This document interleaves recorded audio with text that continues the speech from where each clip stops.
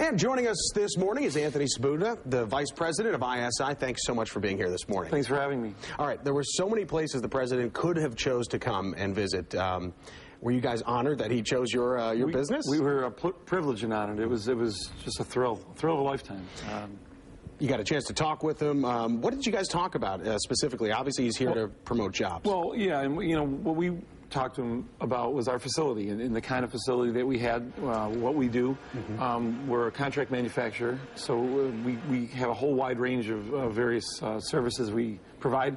So we took him through our, our metal fabrication shop and, and showed him, and, and, that's what you've got up on the, on the screen now. Um, we walked him through there.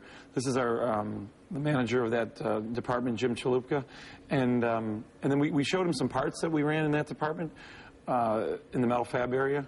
We also have a CNC machining area that we, we walked them through and, and, and showed them an electronic assembly area. Here, he's, Jim's explaining, Jim's a tool and die maker by trade mm -hmm. and has been part of some of the growth that we, our company's experienced. Um, we then walked over into our, this is, in this area, we had a lot of fun. This is our uh, uh, hand assembly area. We make a lot of kind of uh, very interesting, quirky items in this area, science kits for kids mm -hmm. that go into science projects. Uh, there's a there's a hovercraft that's gotten a lot of attention. That uh, there was a, a, piece here where he, he had a New York Times reporter on the hovercraft and spun her spun her around.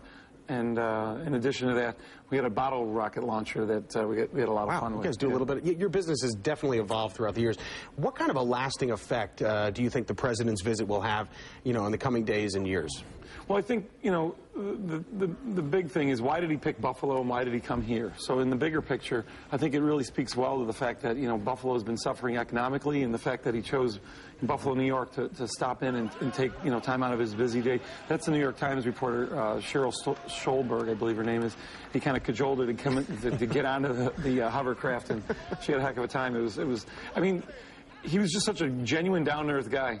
Uh, at this point here, this is the bottle rocket launcher where we're gonna we're gonna fire these bottle rockets, and uh, the, all the media was like right in our face. Actually, it was just prior to that, right. and uh, we got everybody off to the side and we kind of uh, you know fired the, the, the bottles up over their heads. So it's kind of interesting. But uh, he, you know, just in, in uh, a nutshell, it was just great that he came out to Buffalo. And, and, the one thing, it would have been great because there were so many people that wanted to see him. Mm -hmm. I just feel so uh, lucky. I mean, that he came to our facility and I spent so much time with him. That's right. Well, you, you guys have been doing some great work there, and that's probably why he showed up. Thanks for joining us this morning. Thanks Anthony for having Me.